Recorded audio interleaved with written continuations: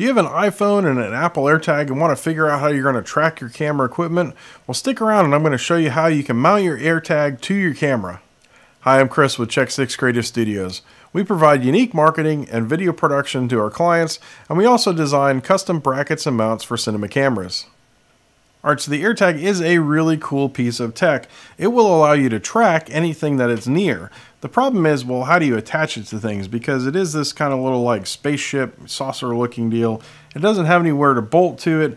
Now, Apple will sell you a keychain, but if you want to attach it to your cinema camera, you're going to need one of these mounts.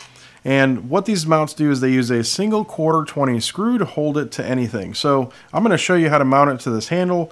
This handle has lots of quarter 20 threaded holes in it. And all I'm going to do is get this screw started in the hole. And then I'm going to use my Allen key to finish tightening the screw down.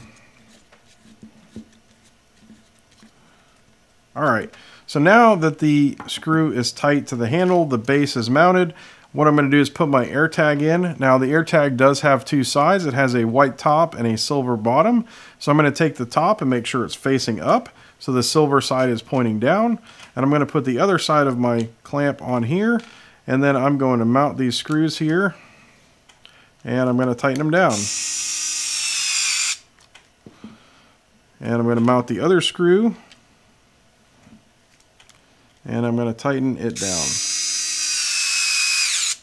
All right, there you go. Now the AirTag is mounted, so anywhere that this piece goes, I can then track with my phone.